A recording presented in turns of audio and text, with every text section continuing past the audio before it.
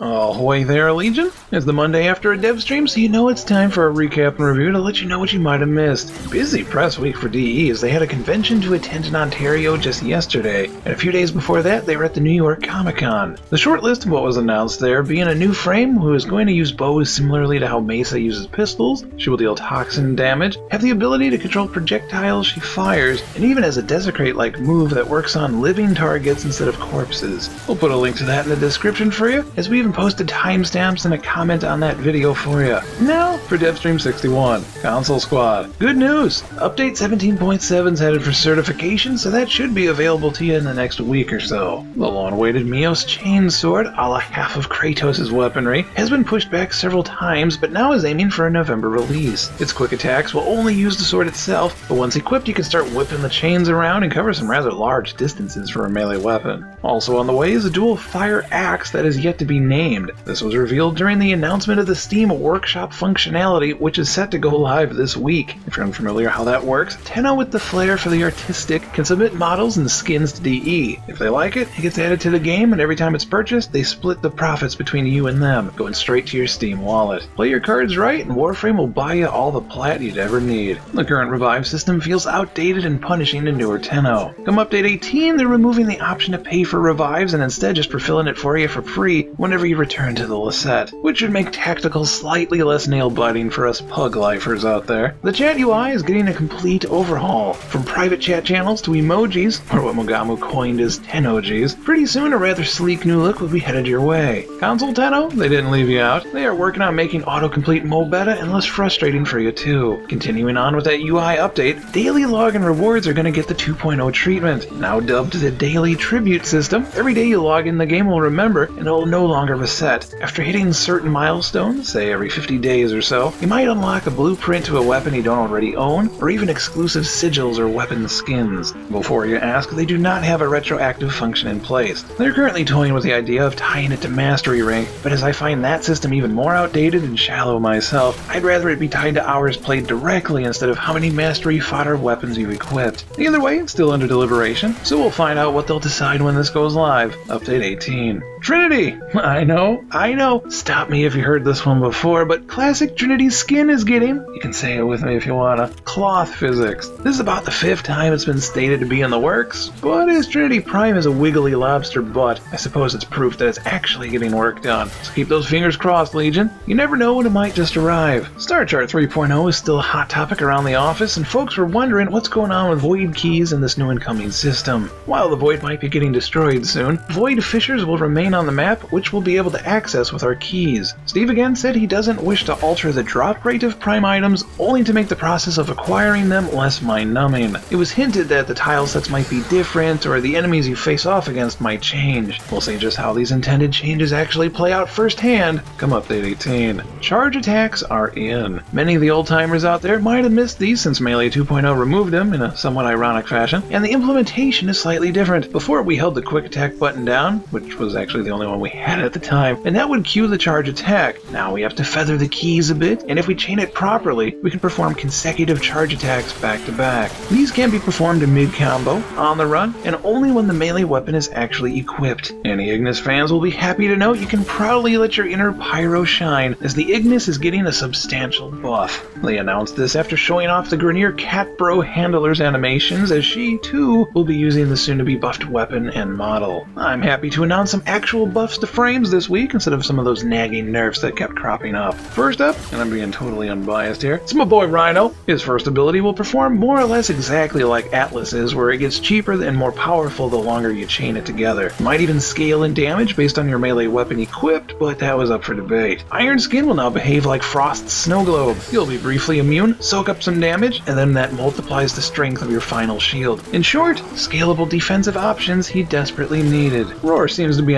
untouched from its previous buff, and now Stomp will make enemies more susceptible to damage from charge, making that bit of a combo option if you like. Yeah, well, I could drop the mic right there and call it a day. Saryn's getting a rework too, so I suppose I should mention some of that. If you like the idea of comboing your abilities together, you're gonna love Saryn 2.0. It is currently planned for all of her abilities to affect the others. For example, if you cast Molt, then Venom onto that Molt, enemies who damage your decoy will become poisoned. The damage Molt takes is stored like Nova's bubble, which you can then unleash on top of the damage you'd normally deal with Miasma. If you cast Venom on an enemy, then melee them down with Contagion active, you'll burst Venom quickly and cause it to spread even faster. All her status damage can be modded for duration as it ticks once per second, and for now her planned passive actually increases her status effect duration by 25%. You can expect Saryn's rework and deluxe skin this October. Also coming this month is supposedly the most hilarious seasonal content yet. They didn't expand on it more than that, but as long as it's not more foggy Earth levels, I'll be happy. A question about the Umbra versions of Warframe was asked, and Steve said it's basically the opposite of a Prime. Lore-wise, these might be related to the Feral or even Proto-Warframes when they were first being formed during the Technocyte infestation. But don't quote me on this, that's just taking a stab in the dark. Speaking of stabbing in the dark, the Stalker is not only tied to the upcoming cinematic quest, but he's been confirmed to be getting a rework.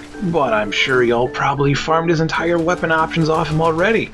Right. Any news you're particularly looking forward to and you can't wait to get your hands on? Let everyone know in the comments what your own precious is. Not gonna lie, that Rhino rework is looking mighty fine. He's still probably gonna get hated on, but thanks to Iron Skin's buff, he can take the heat just fine. Hope this recap and review helped you out, saved you some time, and put a smile on your face. As always, thank you for watching, and catch you next time, Legion. Take care.